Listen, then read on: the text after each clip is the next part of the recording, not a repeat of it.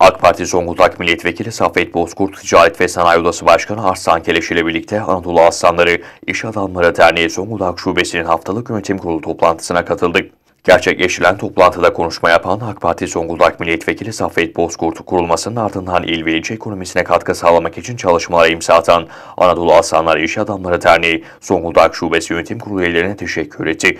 Yapılan gelişmeleri yakından takip ettiğini de dile getiren Milletvekili Saffet Bozkurt, Ereğli Ticaret ve Sanayi Odası Başkanı Arslan Kereş ve partimizin Karadeniz Ereğli ilçe yönetim kurulu üyeleriyle birlikte Anadolu Aslanları İş Adamları Derneği Zonguldak Şubesi'nin haftalık yönetim kurulu toplantısına katıldık.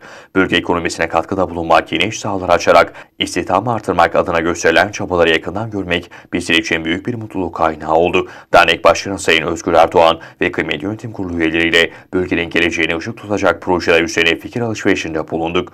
Birlikte hareket ederek şehrimizin potansiyelini en üst seviyeye taşımak, bu işbirliği ve dayanışma ruhuyla yarınlara daha güvenli bakmamızı sağlayacaktır. AK Parti Milletvekili Saffet Bozkurt'un ardından söz alan Anadolu İnsanları İş Adamları Derneği Zonguldak Şube Başkanı Özgür Erdoğan. AK Parti Zonguldak Milletvekili Saffet Bozkurt'a teşekkür ederken az konu olarak bölge ekonomisine katkı sağlamak amacıyla çalışmalara devam edeceklerini ifade etti.